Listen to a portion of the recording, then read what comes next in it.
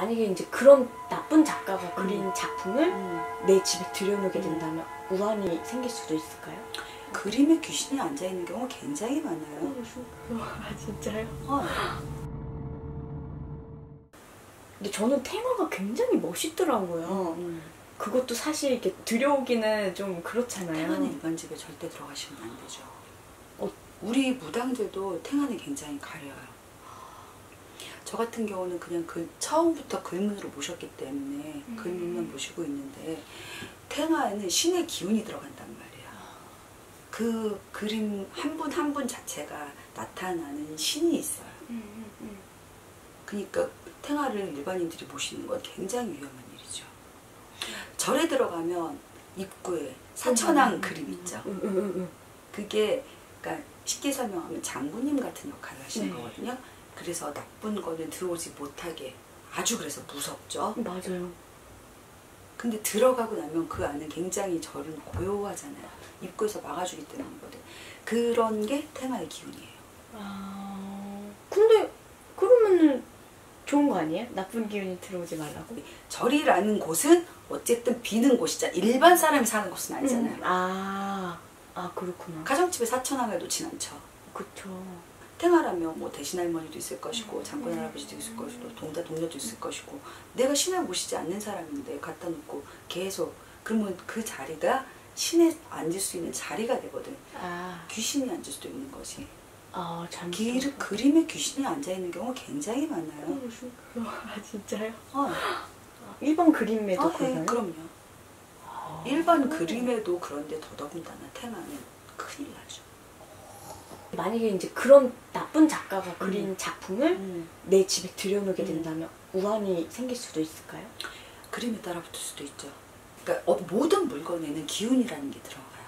그래서 우리가 정말 신수가 사납다라는 소리 많이들 하잖아요. 그럴 때는 밖에서 물건을 안으로 들어오지 말라 그래요. 그 물건에 안 좋은 기운이 따라 붙는단 말이에요. 그림에도 굉장히 많아요. 음. 그리고 그 그림을 그렸던 사람의 그 당시의 느낌, 행복했는지 슬펐는지 그냥 무조건 유명 작가의 그림이라고 다 좋은 건 아닌 것 같아요. 그때 음. 내가 그냥 뭐 다섯 살짜리. 꼬맹이가 아무 생각 없이 그려놓은 낙서 같은 그림도 내가 걸어놔서 내 기운이 좋아진다면 음. 좋은 그림인 거예요. 근데 그림이나 물건 같은 거는 집에 함부로 들이시기 전에 일단 조금 보셔야 돼요. 일반 그림에서도 귀신 앉아서 굉장히 안 좋은 것들 많아요. 가요? 일본에서 들어온 그림이었어. 근데 일본 예쁜 인형 같은 그림이었어. 그러니까 되게 유명한 그림이래. 복사본이야. 그리고 하나는 포스터였고, 그러니까 그 친구가 일본에서 들어오면서 그 일본 굉장히 유명한 그룹 포스터와 음. 그 복사본 그림을 갖고 온 거야. 밤에 잠을 못 자는 거야, 얘가. 음. 자꾸 무슨 소리가 들려서 오. 음. 너무 힘들다는 거야. 음, 그래서 찾아왔어요. 네, 그래서 찾아오셨어. 집에다 혹시 새로 뭔가를 들여왔냐 그랬어.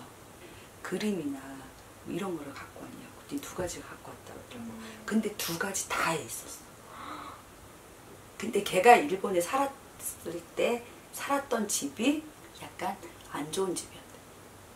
아. 흉가 같은. 아. 근데 새가 싸니까 아. 자기가 거기서 공부를 해야 되니까 돈은 음, 없고 음, 그리고 자기는 그런 걸 잘 모르니까 음, 음, 음, 음. 근데 거기 있을 때도 좀 음산하고 무섭고 그런 느낌은 있었대 음. 근데 그냥 추억이라고 생각하고 자기 그냥 갖고 온 거였는데 음.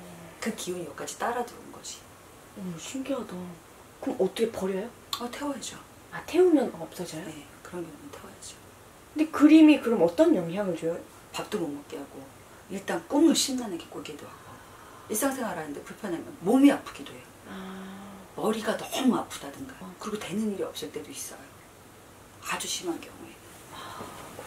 그러니까 어떤 물건이든 의미를 두기 시작하면 한도 끝도 없긴 하지만 의미를 안 두는 게 가장 좋아. 그냥 그림은 나는 그렇게 생각해. 그림을 볼 줄 모르는 사람이니까 내가 봤을 때 편한 그림 내가 봤을 때 따뜻한 그림 음. 그리고 제일 좋은 그림은 내가 봤을 때 행복해지는 그림 비싸던 싸던 상관이 없다니까 아. 혹시 부적처럼 음. 가지고 다니면 뭐 그런 거. 나는 기본적으로 해바라기 그림, 어, 그게 좋아요? 네. 가지고 다니면요? 목을 부르는 그림 중에 하나예요. 해바라기 그림이. 그렇구나. 음. 그래서 나는 해바라기 그림 굉장히 많이 추천해요. 어, 그러면 그 그러니까 어떤 작가가 그렸느냐가 중요한 게 아니라 음, 그 작가가 음. 이제 어떤 그때 기분을 그치. 가지고 어, 어떤 제일. 중요한 그쵸. 어. 그러니까 똑같은 사람이 그렸어도 기운이 틀리거든. 아, 어떤 거는 굉장히 기운이 좋고 에너지를 줄 수 있는 그림이 있는가 하면 어떤 건 에너지를 쪽쪽 빼는 그림이 있죠. 음. 그러니까 그거는 그 사람이 그렸을 때 당시에 기운들이 많이 들어가 있을 수 있어요. 근데 요즘은 거의 유명 작가 그림들은 원본을 일반인들이 갖고 있기 힘들죠. 복사본으로 많이 갖고 있죠. 그 조금 덜 하긴 하겠지만 원본보다는.